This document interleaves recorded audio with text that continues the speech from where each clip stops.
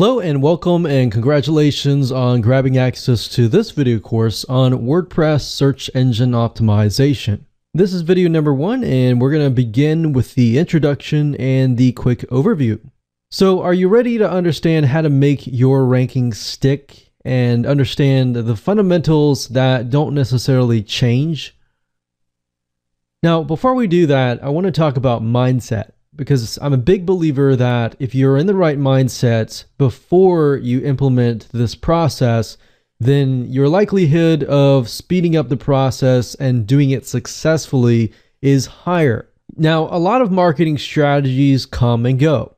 The ones that are often the ones that stay and stick are boring and overlooked, and that's why they are overlooked. So just keep that in mind that as long as you're willing to do what is boring and cons- constantly think about how to make your users experience a good one, everything else is going to follow.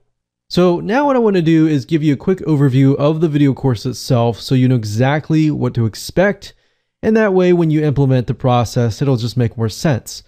This is video number one. Video number two, we're going to talk about the intent of a keyword.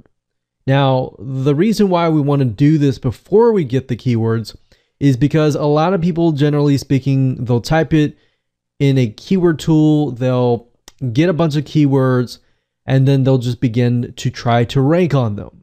That is a big mistake.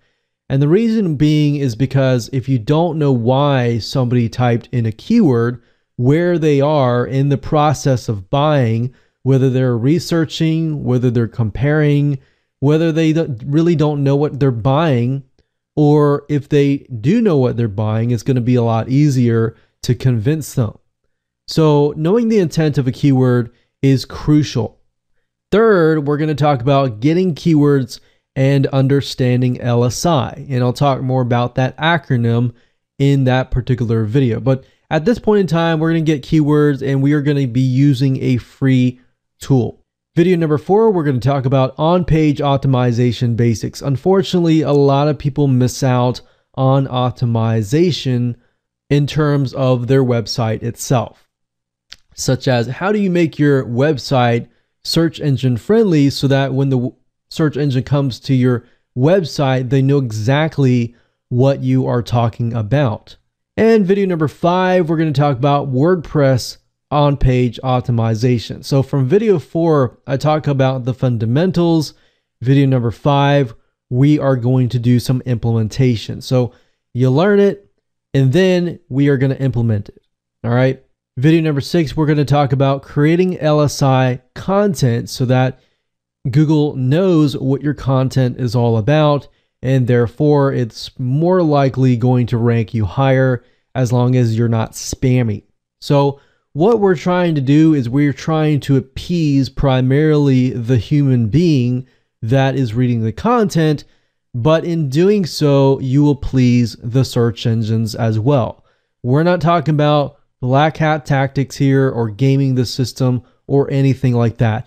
We're talking about long term strategies. So, video number seven, we're going to talk about on page consistency with WordPress plugins. And I'm going to talk about some plugins that we have tested and we have found that work well with our results. Some plugins have come and gone. There's a particular one that I have found that has really, really done well across the board. And then I'm going to throw in a bonus in video number eight, and we're going to talk about high authority backlinks, where to go to get them, why high authority backlinks are more important than just a bunch of backlinks. So you see, back in the day, you could throw 100 backlinks at a site and get it ranked.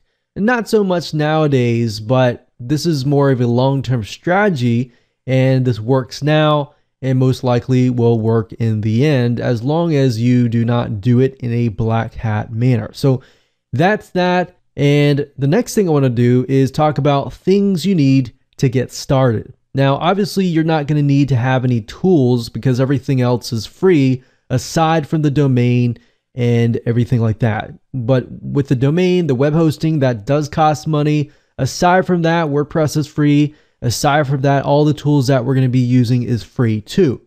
But before you can actually figure out the intent of a keyword, you really need to figure out what are you selling? Are you selling your own product? Are you selling somebody else's product?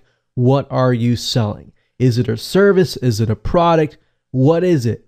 And number two, who are you selling to? I really want you to begin to paint a picture of who that might be because you don't really want to necessarily please everybody. You want to please the person who is what we call a buyer who really, really wants that product. All right. So, who are you selling to? What do they look like? All of that. If you can figure all that, just a general point of view from their perspective, we can then move on to video number two. And with video number two, we're going to talk about the intent of a keyword, and I'll talk more about that in that video. Welcome back. This is video number two, and we are going to talk about the intent of a keyword. So before you go out and you grab a bunch of keywords, stop and wait. And the reason being is because the biggest mistake that people make is in this process is not really knowing where your buyer is within the buyer's cycle. So really what you want to do is when you look at a keyword, you want to think, why is somebody typing in this keyword? Are they researching? Are they comparison shopping? Or are they buying? So that's really what it comes down to. Are they looking around? Do they really know what they're buying? Maybe they don't know what they're buying yet, and you got to get them to the point of researching, comparing, and then buying, right? If you think about the buyer's cycle, if somebody doesn't really know what they're looking for, they might type in the keyword how to stop blank. If they're researching, they might do brand name versus brand name.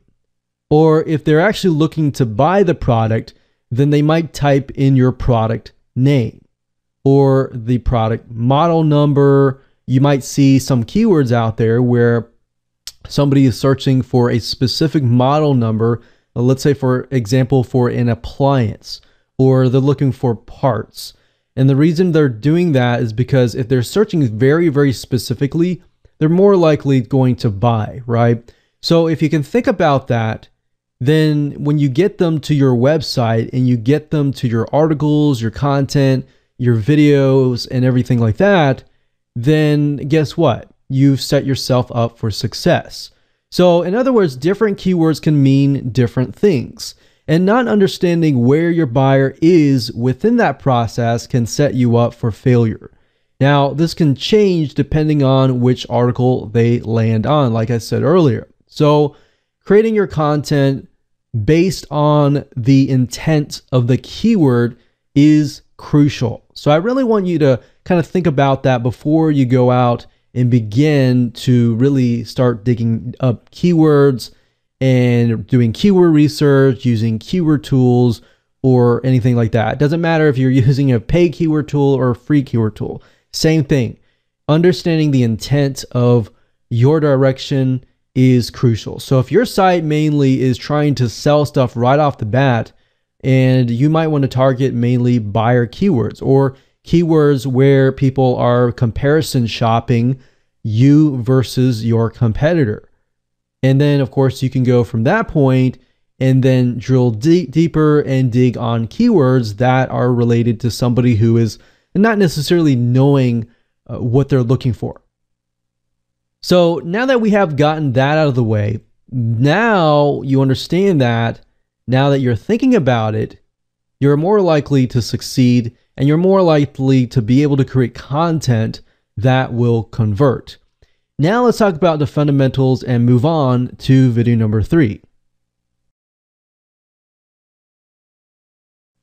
Welcome back. This is video number three. And now that you understand the buyer keyword intent, it's time to go ahead and get some keywords. And we'll talk about understanding LSI as well, so that when you begin to look for keywords, you can look for similar keywords, which is basically what LSI is all about. So LSI stands for latent semantic indexing. It's just another fancy name of similar keywords. So, what I want to do before we go out and search for keywords is to give you some examples of LSI. So, as you know, Google sends out a robot or a computer that tries to read and understand what is on your page. So, if you understand this concept and you can help Google out, then most likely it'll categorize you in the right area. So, for example, Google has a way uh, to know if the keywords you're using actually relate to each other. So they can see if one keyword is relational to another keyword or if you're keyword spamming or you're trying to game the system. So that's why if you really look through this, you realize that it really comes down to not just using the right keywords, but really appealing to a human being. If you appeal to the human being, then you will appeal to Google in the long term because essentially what you're doing is you're providing quality, right? So, what you're trying to do is you're trying to help Google paint a picture of what you're talking about. And that's what their robot is designed to do. So, let's let's just take an example here. Everybody has, you know, lives in an apartment or house or somewhere. So, let's talk about roofs. Imagine writing an article about roof repair. So, if you use the word, say for example, shingle, nails, a specific type of shingle, maybe a metal shingle. Uh, we could talk about gutters.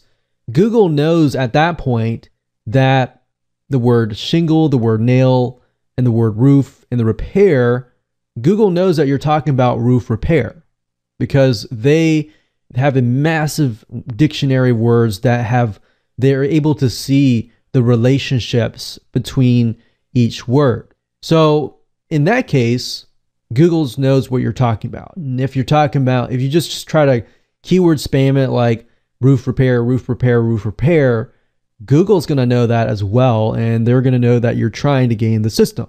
And that's really not going to be appealing as much to a real live human being. Another thing that we're not really going to go into too much about, but if you can get a human being to stay on your website for a long period of time, and in other words, engage with your content, then you're going to get a higher ranking with Google. So, what we call that being a higher stick rate, a higher engagement rate can actually help you out as well. So, actually, you'll see nowadays that the longer your content, the better. Or if you create a video, videos actually create a higher stick rate and higher engagement rate as well.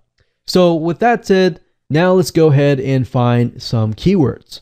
So going back to video number two, if you really think about the intent of the keyword in relation to the content on your website, at this point in time, I generally speaking will use two websites.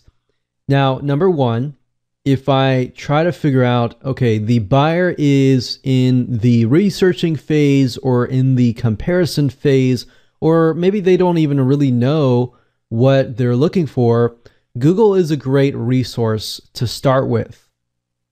And then, as far as the buyer, actual marketplaces are really good places to find buyer keywords. So, for example, Amazon would be a good place to go. Now, you'll realize in just a minute that I'm not really using any keyword tool. What I'm using is what we call the suggested keywords. Now, in order for the suggested keywords to show up in Google or Amazon, that means that there must be a high volume of people searching for it. So if you go to Google, for example, you know how you type in a keyword, let's say, for example, how to repair a roof. And when you do that, you can see that Google gives you a list of suggestions. So we can see how to repair a roof, leak, leak around events, or roof truss. Now, we know off the bat that these are highly searched. Now, if there are any relation to your business, then these are great words to use. Now, let's say, for example, how to repair a roof leak. At this point in time, if you scroll all the way down to the bottom, you'll also see other related searches. So, how to repair a roof leak yourself from the inside around a vent on a mobile home, how to repair a roof leak on a camper from the inside, the costs, and flat roof leak repair. So if you're finding that, okay, this one actually relates to my product or service and you click on it, you can jot those keywords down. Do the same thing. You can take a look at these keywords and these are showing the suggested keyword that you want. So what you can do is you can simply highlight these like so and simply copy these, the text, and paste that into your notepad. Now, there are tons and tons and tons of other keywords, but these are great keywords to start out with. Now, generally speaking, what I like to do is I like to use these as article titles. Now, if you dig a lot deeper and you look at particular articles that are surrounding these particular titles, or if you take these long tail keywords or long phrase keywords and you put them into your favorite keyword tool, whether that be Google Planner or another keyword tool, that keyword tool will generally speaking will give you a larger list of keywords that are related.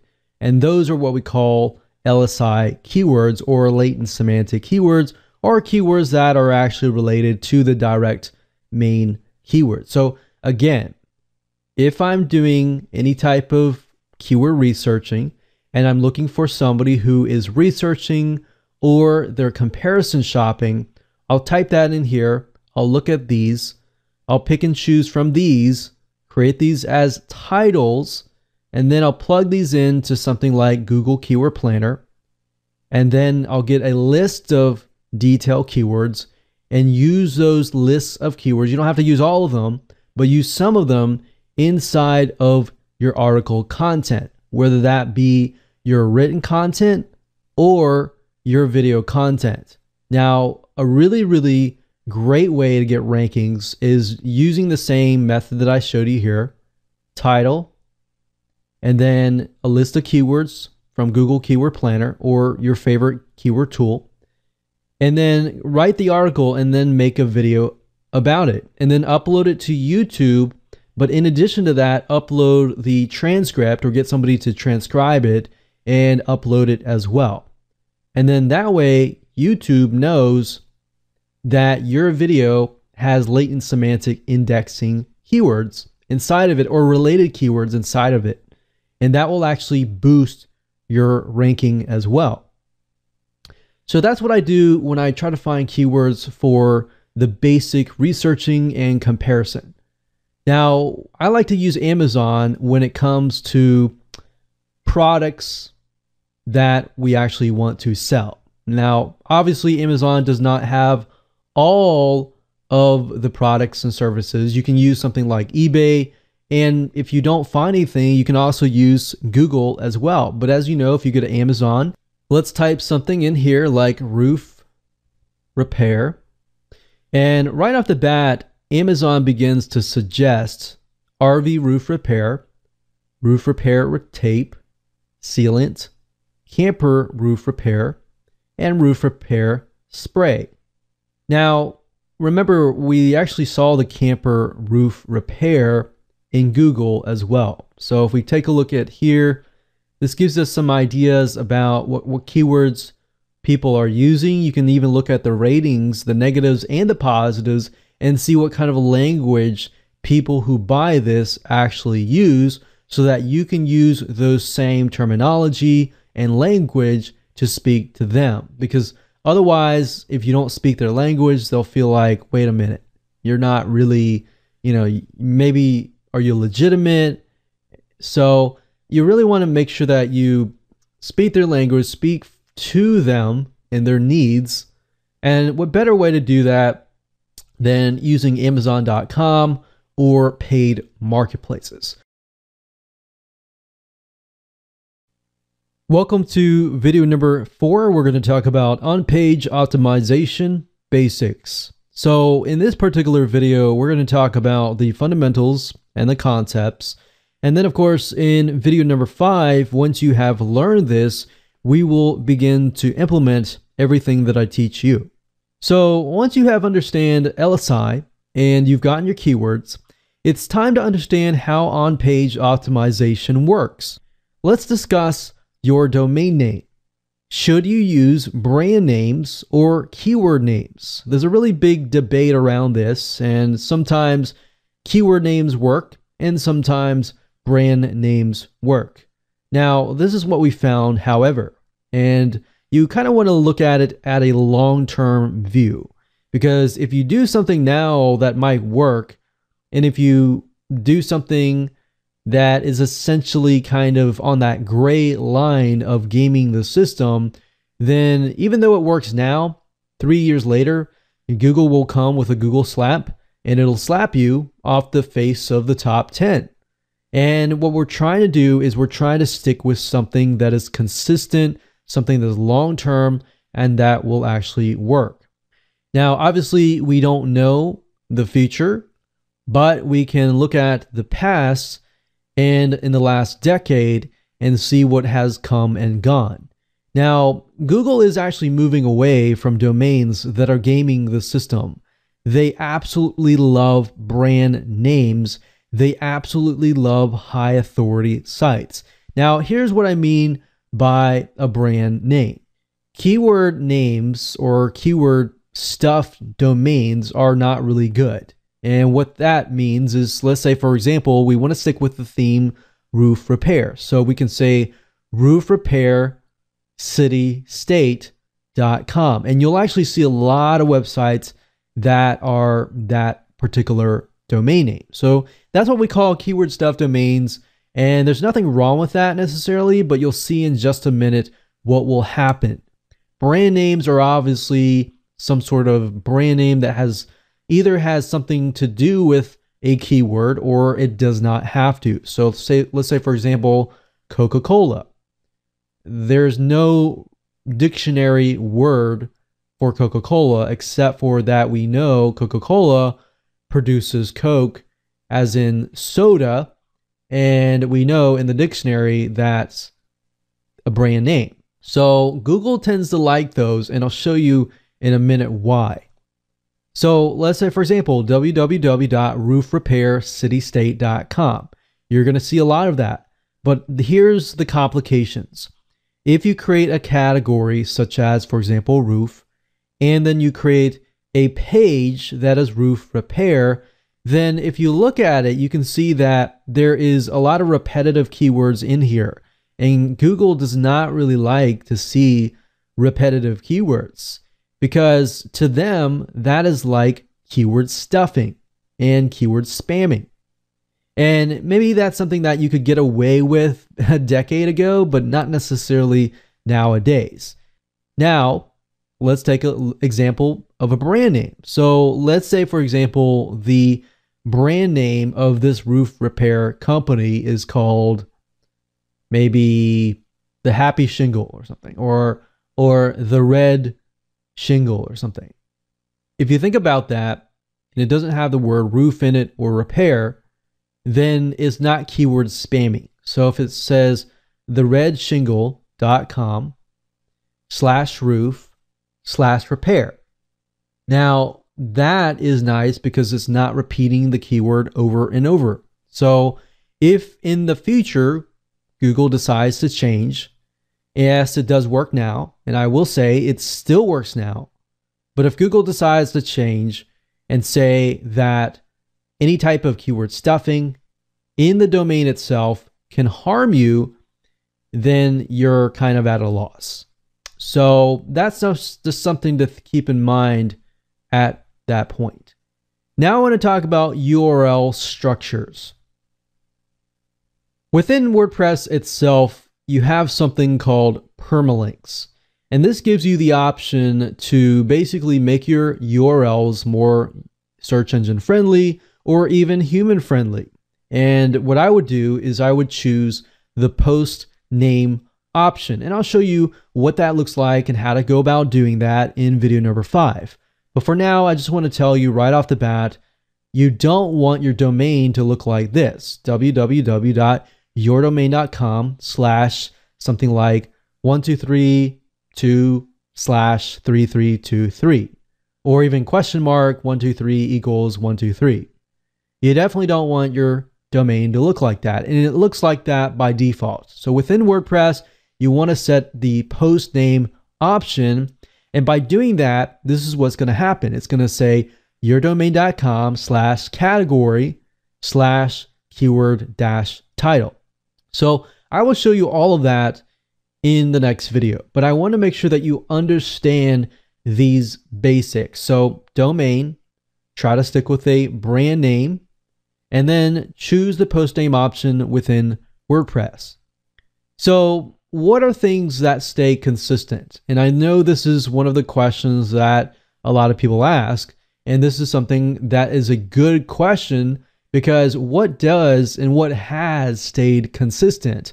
Well, most of the above has stayed the same except for the brand name slash keyword domain name kind of thing. But it's inevitable. And if you think about it, if you're branding your company and you're building an actual company with a brand that has an identity, then as Google looks at your brand name and looks at the content you put out, it begins to put a name to a face.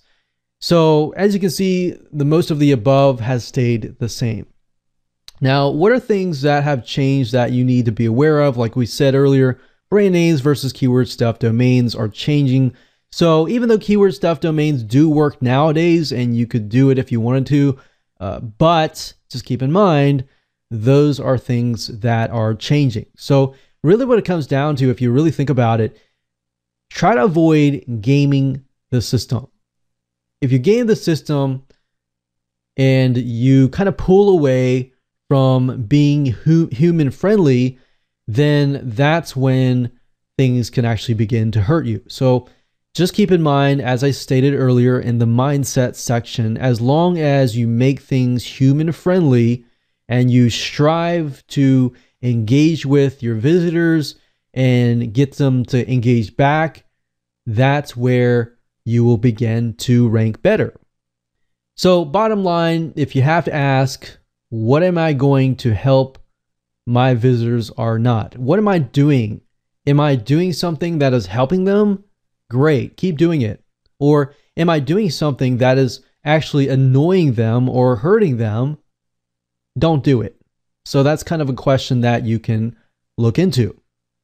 So with that said, let's move on to video number five. And I'm going to talk about WordPress on-page optimization.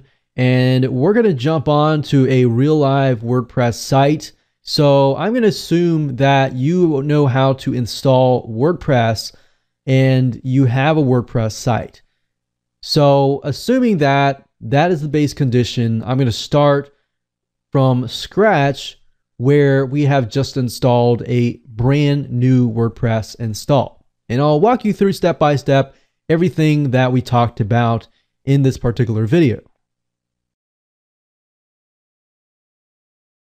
Hello and welcome to video number five. We are going to talk about WordPress on page optimization and we are going to do everything that we discussed in video number four and that will be implemented here. So we'll be discussing the URL structuring, categories, as well as site structure. So with that said, I assume that you will have a WordPress site available so if you want to go ahead and log in and follow me along or watch till the end and follow later, that's fine. Uh, but we're going to go ahead and log in to a live WordPress site and I'll walk you through step by step. So right now I have logged into my WordPress administrator dashboard and I want to say that if you don't have WordPress installed, it's super easy. If you have any problems, just contact your web hosting company and they'll typically point you to a software application that will install the WordPress site really, really fast within less than three steps. So get that site up and running, log into your WordPress administrator link, which that install typically will provide you with. Uh, but if not, you can always go to yourdomain.com slash WP dash admin. So that's how to get here. And once you have logged in, you want to go under settings right here. So you're not going to be able to see these, but you will see settings. So click on settings and then go to permalinks. So permalinks, as I stated earlier in the previous video, this will allow you to make your URL structure more search engine friendly and human friendly as well so they know exactly where they are at. So as you can see by default, it shows the slash question mark p equals 123. Now that's not human friendly and that's not search engine friendly at all. What you want to do is you want to choose post name and then all you need to do is click on save changes. The next thing I want to show you how to do is how to create categories because you want to make sure that you categorize your content, you categorize your pages, and categorize your posts. Now all you need to do is under posts, as you can see here, you can see categories. So if you go to categories and there's tags as well, and you can add the category name. The slug is basically a URL friendly version of the name. So let's say, for example, your name of the category was a two word. So if we say something like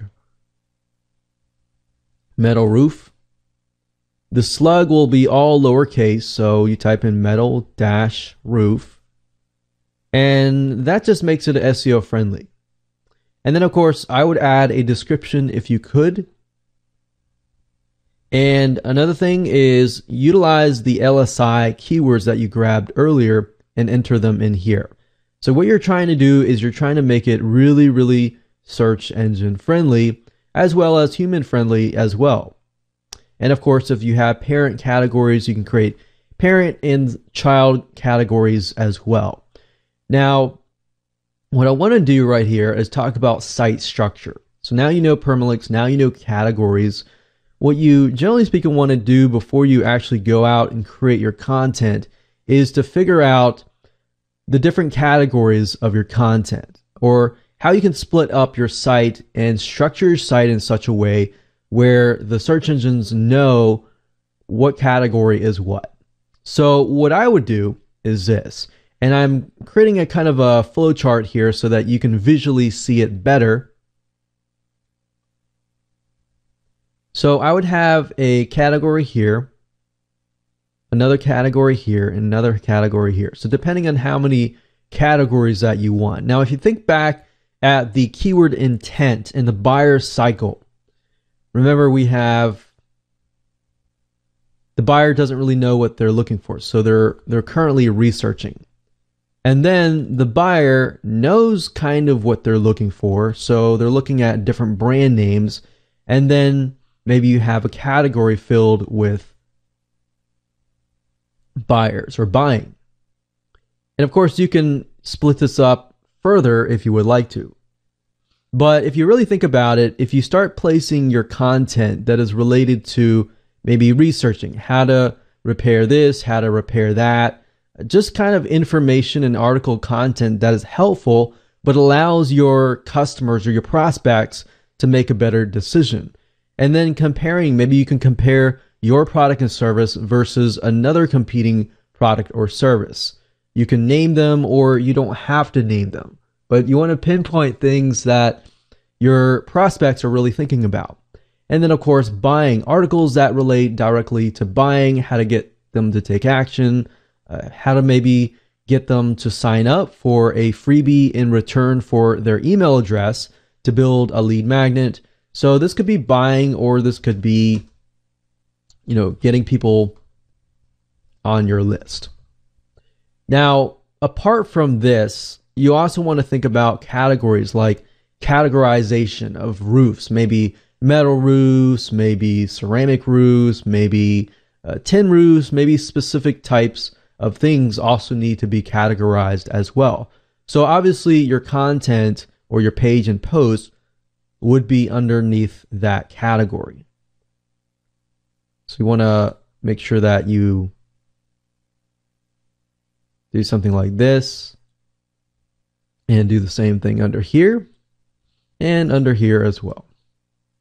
So maybe you want to use these as tags and then you want to use the categories as such uh, different types of roofs, different types of repairs, and everything like that.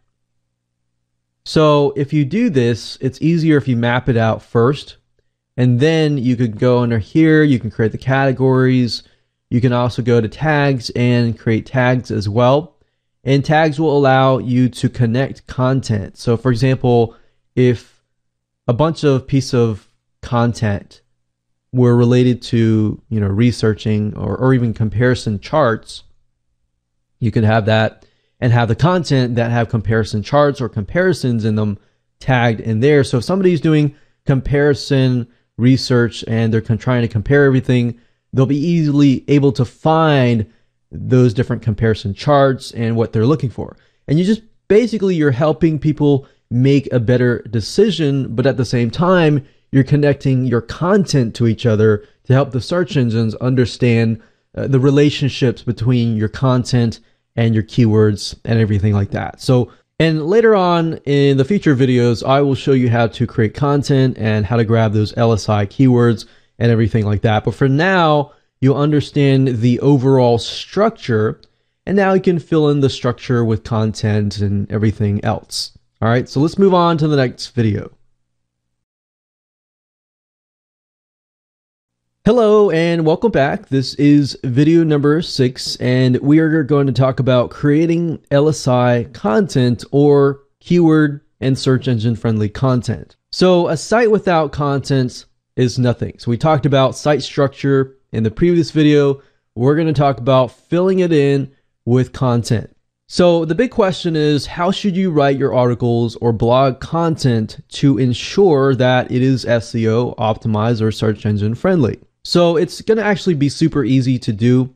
But what we're going to do is we're going to take the list of keywords that you got from earlier and let me show you how easy this is. So before we can create the content, I want to show you a specific method to create the content structure. So if you think about it, we're focusing a lot on structure because once you create the structure, filling in the structure is actually very, very quick and easy. So same thing here.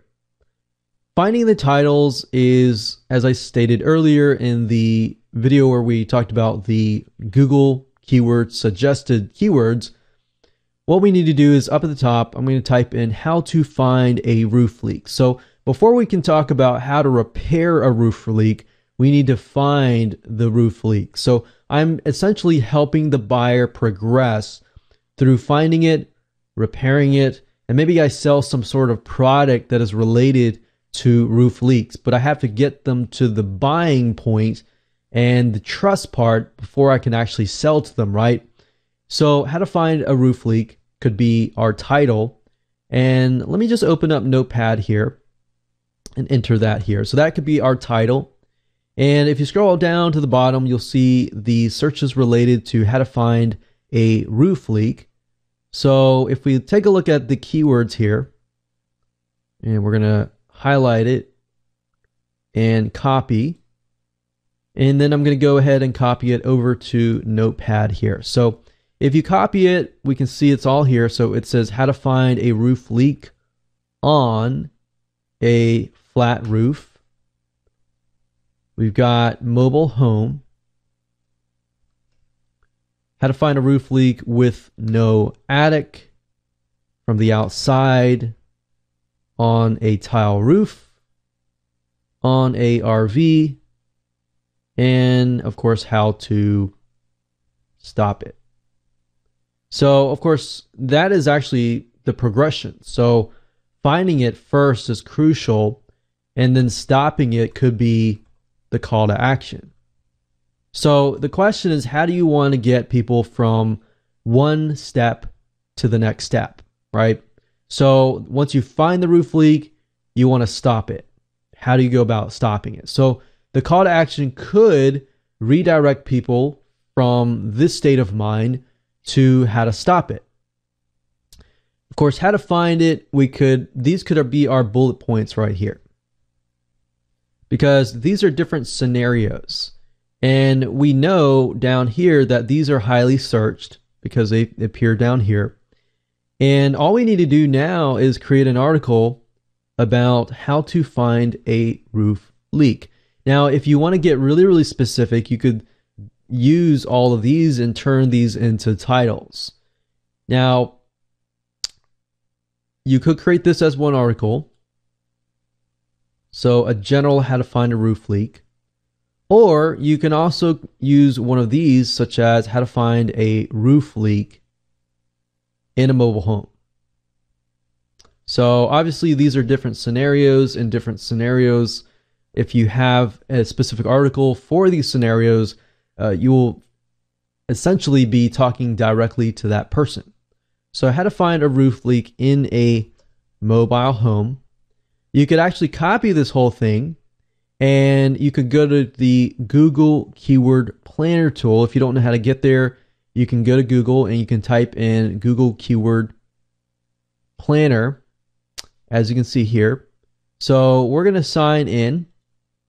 And all you need to do is go to the search for new keywords using a phrase because we got a phrase. Click that, enter the phrase in here. You can also enter a landing page, but we're not really doing any of that right now. We're going to go ahead and you can select category if you would like to. But all we have to do in this case is do that. And typically I leave these blank and see what I get. And I don't, if I don't get a lot, then I'll go back over here. But we're going to go ahead and click get ideas. And Google AdWords is now doing a search for this particular phrase here. Now, if you scroll down, it says mobile home repair, mobile home roofing, roof coating, everything to do with mobile home roofs. Now, obviously, you need to pay close attention to these because some of these uh, may not necessarily be related to your article content, but some of them are. So, typically, what I like to do is I like to download the ideas and we'll download it as a Excel spreadsheet. We'll save the file. And then let's go ahead and open the file right now. So if we look for the keywords here, it's this one here. And I'm just going to go ahead and delete these so that you can you're able to see everything clearly. And let's go ahead and maximize the screen a bit.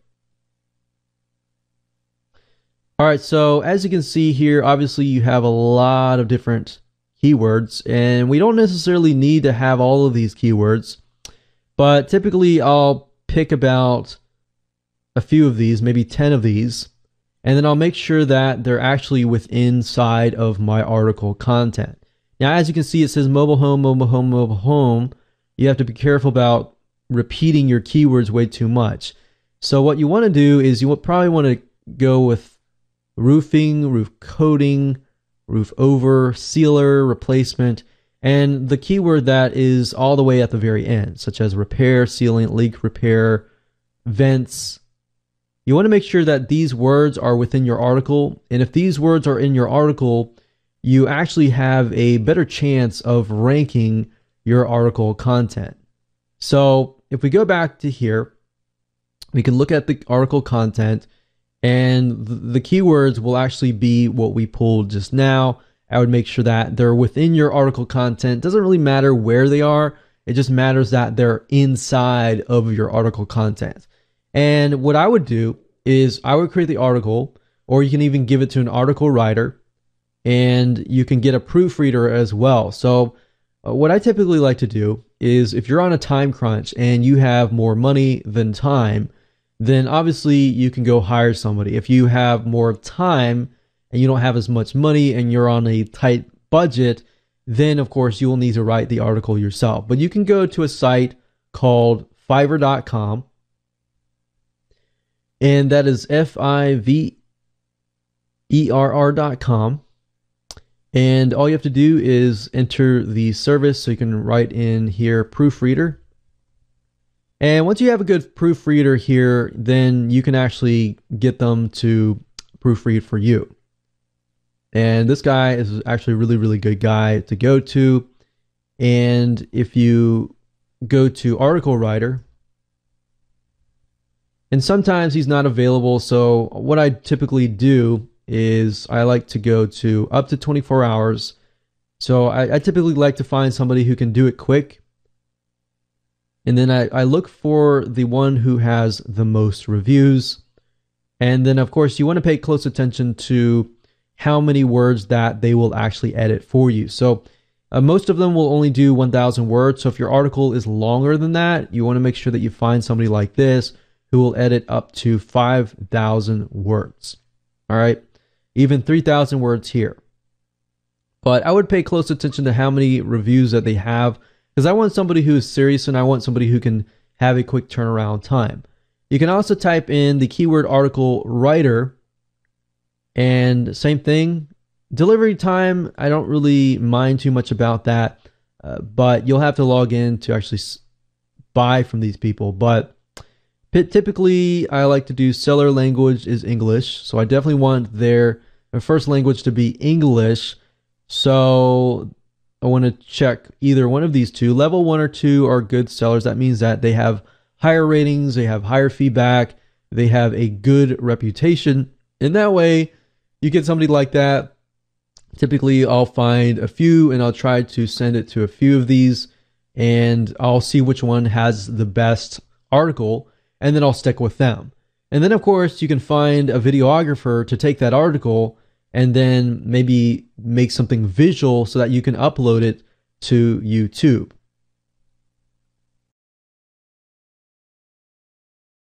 Welcome to video number seven. We're going to talk about on page consistency via WordPress plugins.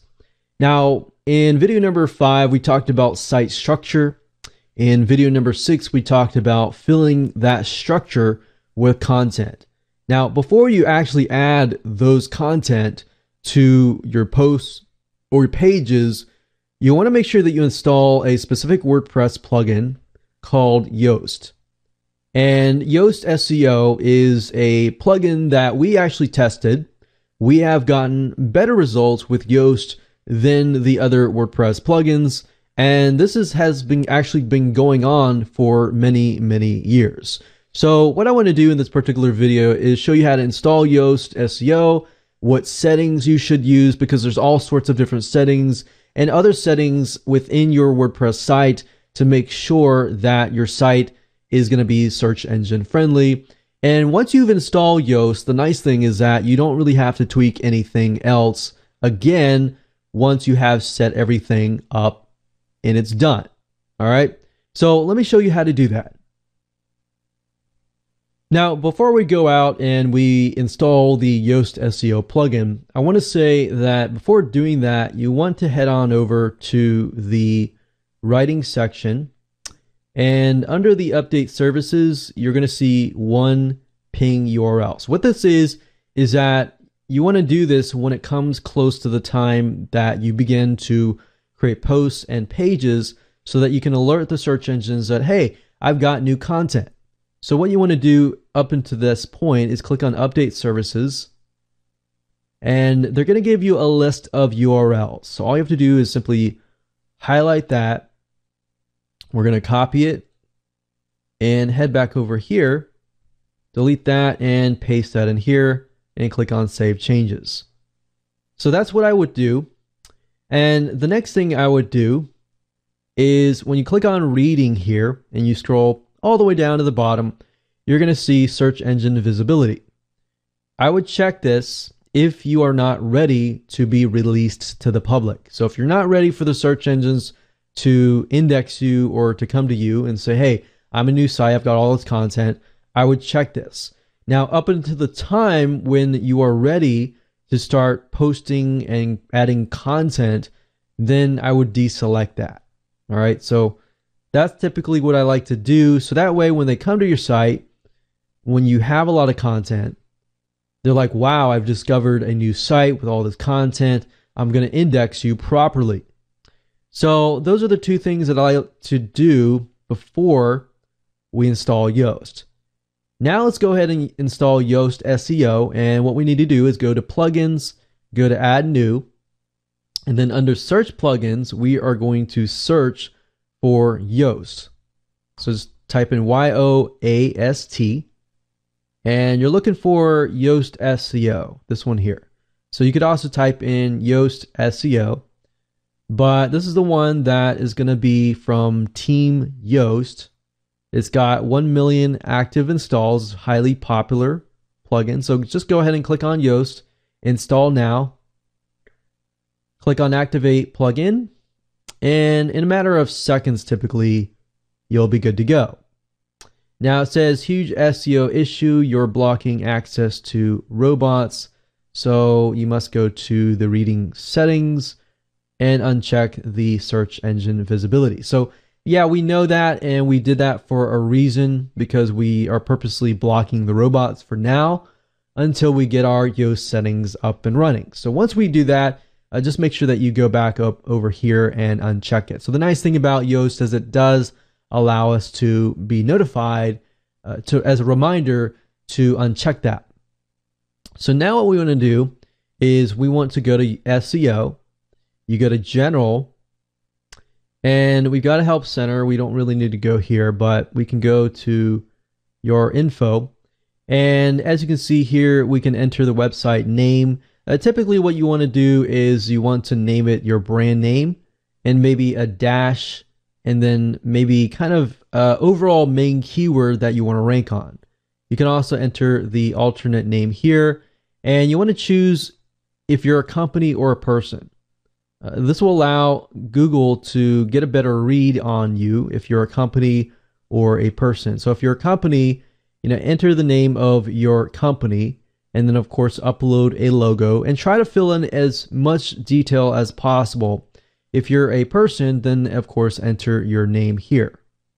And then of course you can go to Webmaster Tools and you can use these boxes below to verify, you know, different webmaster tools. So we got Alexa, Bing, Google Search, and Yandex.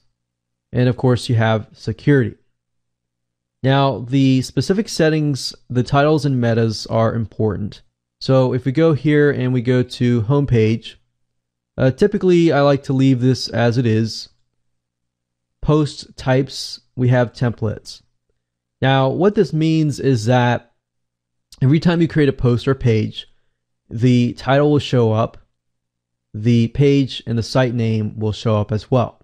So if you only want the title to show up, you can always delete all of this. But typically, I like to leave everything as they are because uh, they've done a lot of testing to know what works and what doesn't really work. So meta robots, we can index it. And that just means that they'll come to the site and index your site. And meta box, I'll leave that as it is. Uh, meta description allows you to kind of uh, customize the description of every page, every post, and all your media. So what this does, it also allows you to make your media search engine friendly as well. So we leave taxonomies alone. We typically leave everything alone, uh, but you can always customize it further if you would like.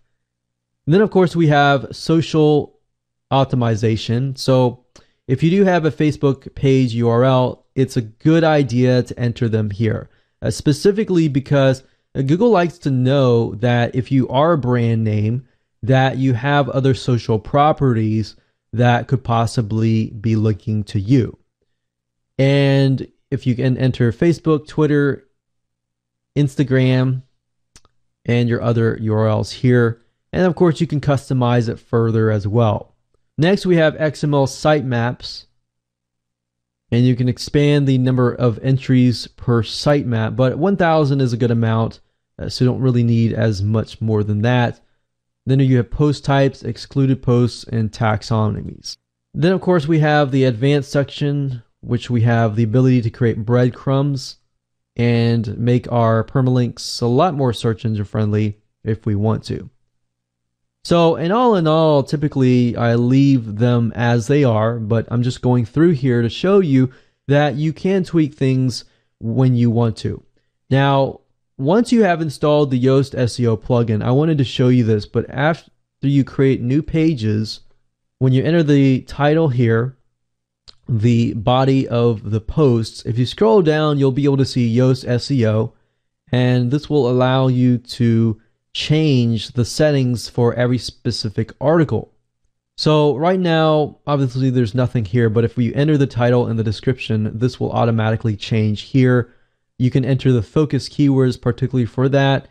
And what's nice about Yoast is it will analyze your content as you can see here. So it'll tell you upon looking at your content and analyze your content, it'll give you kind of a overview of how that looks like to the search engines. So that's why I like Yoast really, really well because it gives you so much data to go off of and it makes your site really search engine. So from our testing, we found that Yoast was actually very, very good. So obviously, once you are ready, once you have created your first content piece, then of course, go up here and deselect the search engine visibility like this so that you can get the search engines back to your site.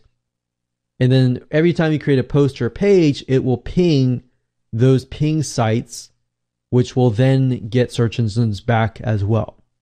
All right. So I hope you enjoyed this particular video. As you can see, it's not really hard. Just do those two settings that I talked about earlier. Install Yoast SEO. You can keep them as they are, the settings wise, and that's it.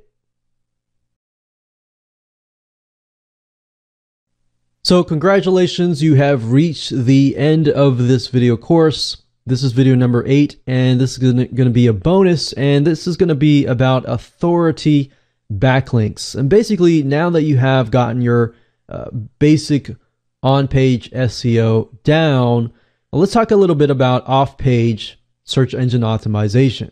So back in the day, you could literally just throw a bunch of backlinks and it would work. But nowadays, you kind of have to be careful about the backlinks that are pointing to you because Google will pay close attention to these. So that's a good question. What types of backlinks should you avoid and which ones should you actually focus on? So, gone are the days where you could throw a bunch of backlinks, hundreds and hundreds of backlinks on a website, and it would rank.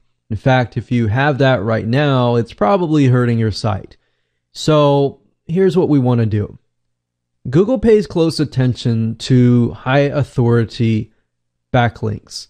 And what I mean by that is high authority websites and social properties such as YouTube, Twitter, Facebook, and any large social network, especially like networks that are related to your theme. So even LinkedIn, so getting a direct backlink from these sites is actually very, very good. Now, let's say this, for example, is your site, and we'll call this the money site because this is where people buy from you. This is where you sell to them. So you definitely want to get links from here.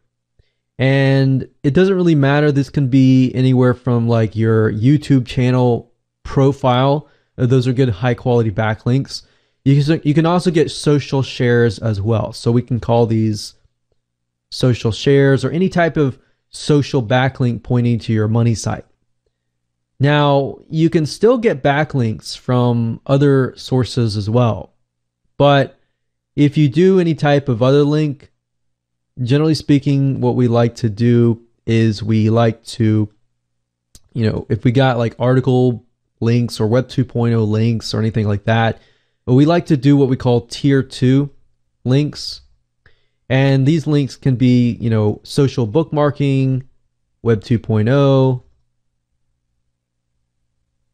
even article links too, forum profile links.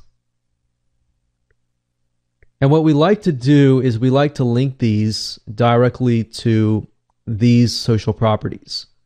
So it's actually better to get a bunch of backlinks and link them to a high authority site rather than linking them directly to your money site. So back in the day, you could just you know, buy a bunch of backlinks and point them right here. And not necessarily nowadays. You want to make sure that they're themed. But if you do get a lot of backlinks, just link them to your social properties. Because in Google's eyes, because YouTube, Facebook, and Twitter are so big, anyways, uh, you know, you got so many links linking to these sites. This will actually boost your YouTube channel, your Facebook channel, or Twitter page, or YouTube videos. And then from those properties, you link directly to your money site.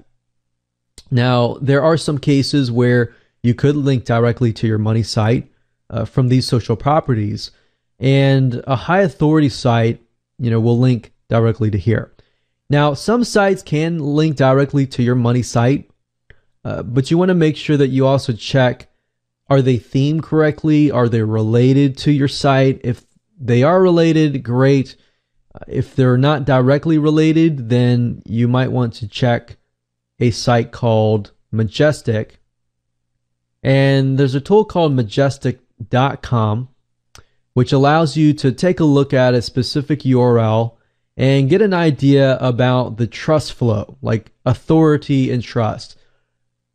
And if you realize that Google no longer really pays close attention to Google page rank, so I wouldn't even go there, but now they pay close attention to authority and trust how much a site has authority wise and how much trust that site has. So, for example, if we type in youtube.com, this obviously is going to have a higher trust and authority.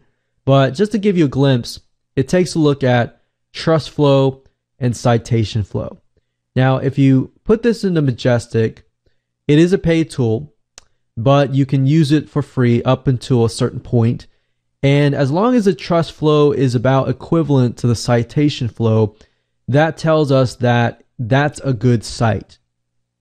Now, you can also see external backlinks, referring domains, and we can also see if this site is a site that is a spammy site. You definitely don't want to get a backlink from a site that has been spammed because that will actually hurt you as well. But if you scroll down, you can see anchor text. We can see most of the anchor texts are YouTube. But if you start seeing anything like Chinese symbols or any type of foreign language symbols like Chinese symbols, that means typically that they are spammed like crazy, especially if the site is not Chinese. If the site is Chinese and it has Chinese symbols, great. If it has other symbols, other language symbols, then of course it is probably spam, Russian or anything like that, when the site itself is not that case.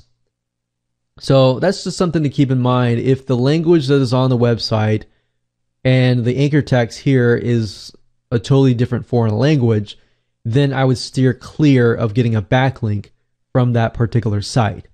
So we're not going into too much depth here, but those are just some basic things to look for.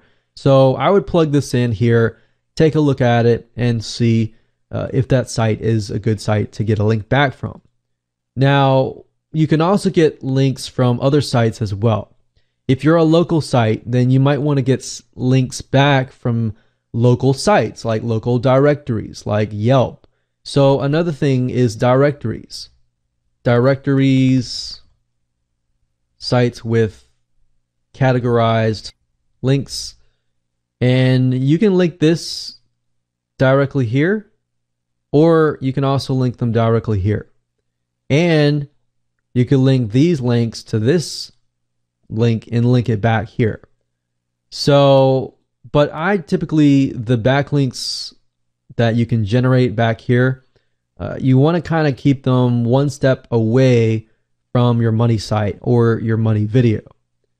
Now, with YouTube videos, it's a little bit different. You, with YouTube videos, you can hammer it with a lot of backlinks. And then from that YouTube video within the description, you can link them to the money site. And that, that will actually help your ranking because YouTube is, has such a high authority that essentially what it does is it creates a buffer.